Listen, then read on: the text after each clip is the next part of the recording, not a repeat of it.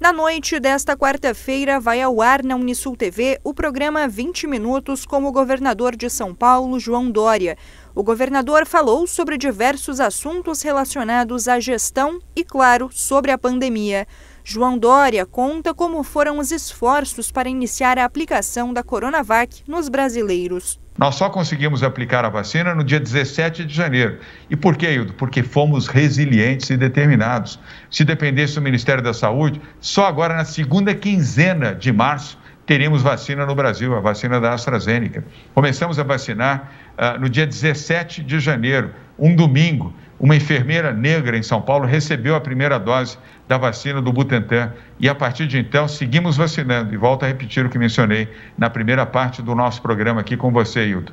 De cada 10 pessoas vacinadas hoje no Brasil, 8 recebem a vacina do Butantan. Até o dia 30 de abril, estaremos entregando 46 milhões de doses da vacina do Butantan para o Sistema Nacional de Imunização.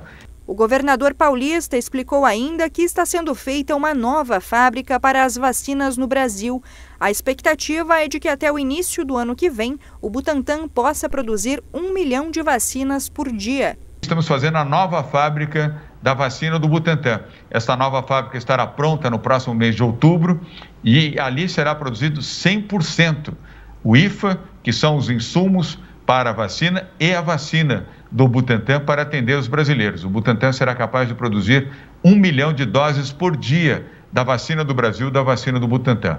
Outubro a fábrica estará pronta. Ela tem dois meses dos ajustes necessários com os seus equipamentos, a validação por parte da Anvisa. Eu tenho certeza que a Anvisa eh, não terá razões para criar qualquer dificuldade para a validação da fábrica e em escala industrial, nesta base de um milhão de doses, já a partir gradualmente a partir de janeiro de 2022. A entrevista completa com o governador de São Paulo você confere hoje às oito e meia da noite no programa 20 Minutos na tela da Unisul TV.